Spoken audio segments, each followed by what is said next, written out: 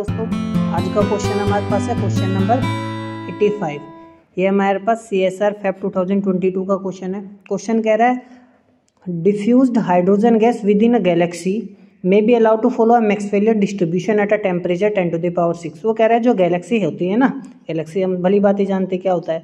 ठीक है, उनमें क्या डिफ्यूज्ड हाइड्रोजन गैस है।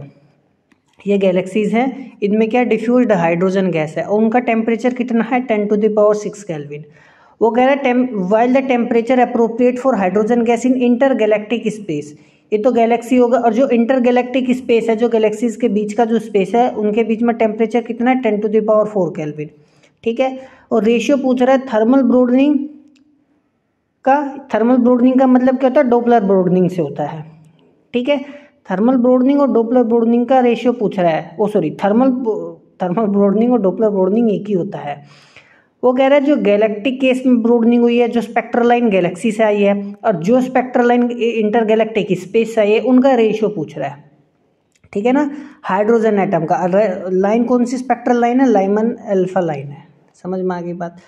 तो बहुत ज़्यादा आसान है। यदि आपको ध्यान हो, हम भली बात ही जानते हैं, हमारे पास जो क्या होता है, थर्मल ब्रोडनिंग होती है हमारे पास, क्या होता है? Seven point one six into ten to the power minus seven frequency, ये हो गया टेम्परेचर और ये हो गया मोलिकुलर मास। जहाँ पर टेम्परेचर किसमें होता है?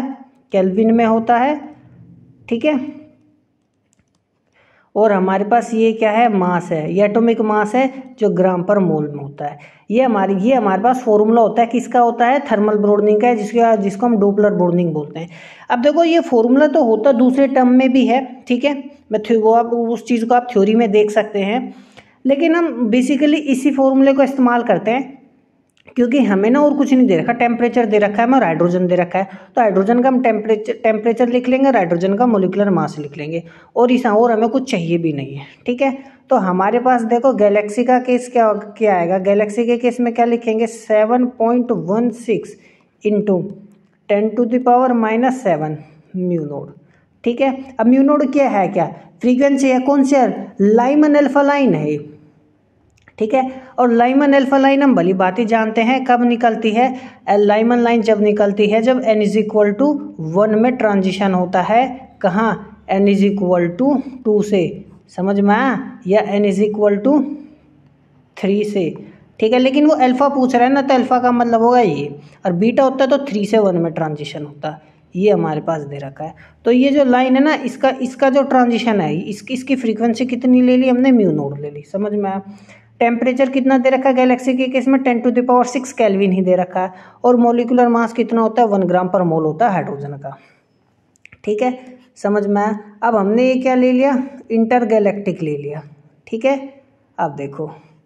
Seven point one six into ten to the power minus seven. Mu naught देखो इंटर गैलेक्टिक केस में भी वही फ्रीक्वेंसी लेनी है क्योंकि उसने लाइमन अल्फ़ा लाइन की बात कर रहा है।